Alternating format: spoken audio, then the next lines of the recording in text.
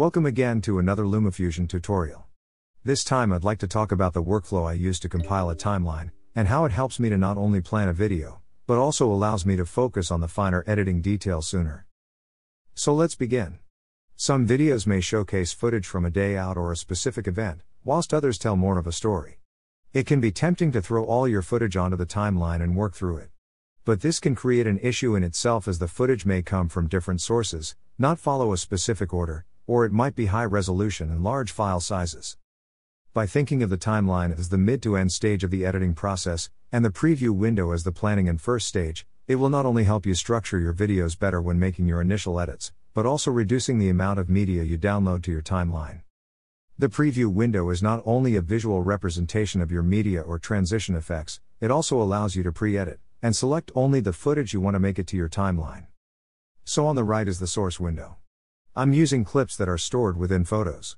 After selecting a clip, a preview can be seen in the left window. From here, you can press the information icon to see details about the clip, such as frame rate. This is important if you wish to slow any footage down. I'll be covering more about frame rates in a separate video. The preview window has its own timeline. At each end, there is a mark in and mark out point shown as yellow brackets. These are the points that define what part of the specific clip will be added to the main timeline. You can tap on the preview to start or stop playing the clip, or you can press and hold on the timeline to scrub quickly up and down. The white line marks the point you are seeing in the clip. After finding the start point of the clip, I'd like to make more minor adjustments. I can do this by either swiping left or right on the preview window to move one frame at a time, or by pressing and holding down the play icon. This allows you to move the track marker in increments such as 1 frame, 5 frames, 15 frames, etc.